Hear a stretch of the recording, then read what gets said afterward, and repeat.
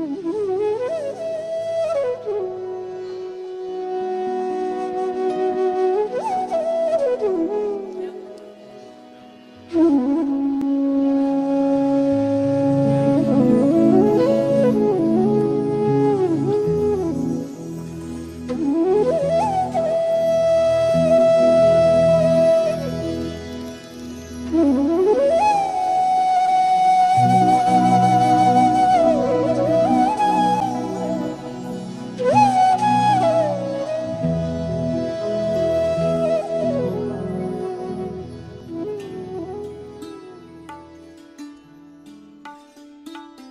श्री राम समर्थ, अगस्त 26 अकारण जो आनंद होता है, वही सच्चा आनंद है।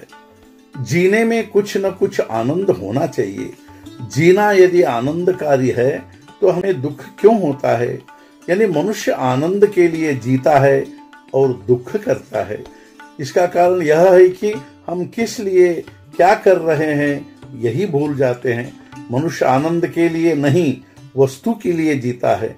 वस्तु सत्य नहीं होती, उसका स्वरूप अशाश्वत होता है। अर्थात उससे मिलने वाला आनंद भी अशाश्वत होता है। हम आनंद में रहे, ऐसा हर किसी को लगता है। यानी भगवान के पास जाए, ऐसी इच्छा होती है। क्योंकि भगवान आनंद स्वरूप ही है। हमें एक ऐसी विचित्र आदत हो गई है कि हम किसी कारण के बिना आनंद का अनुभव ले ही नहीं सकते। कोई प्रत्यक्ष कारण नहीं होगा तो हम अपनी कल्पना से सृष्टि निर्माण करते हैं और उससे आनंद प्राप्त करते हैं। आनंद प्राप्त होने के लिए ही प्रत्येक मनुष्य कोशिश करता है, किंतु किसी कारण से निर्माण होने वाला आनंद का रास्ता दुख के रास्ते से गुजरता है और उस आनंद के लिए मनुष्य दुखदायक गृहस्थी का पल्ला पकड़ता है।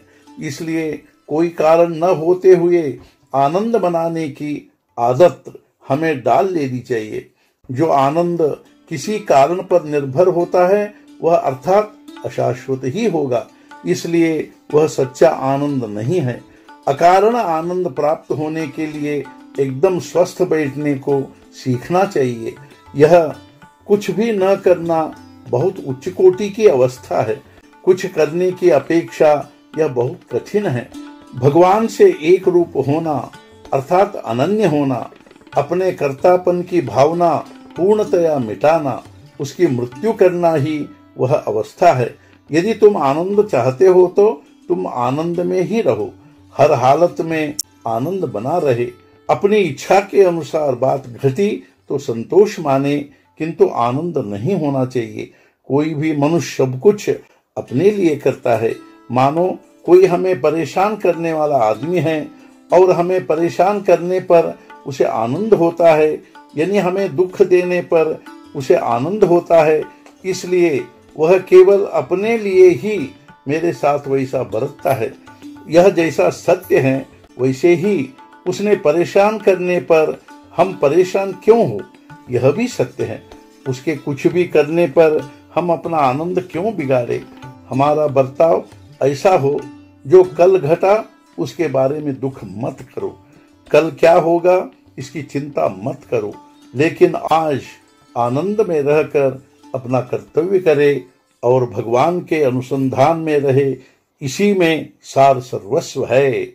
आज का मुख्य विचार, भगवान की प्राप्ति हो, ऐसी इच्छा होना ही जन्म का सार्थक है।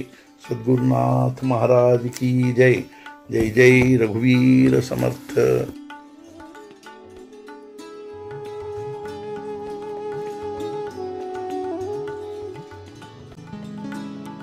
Mm-hmm.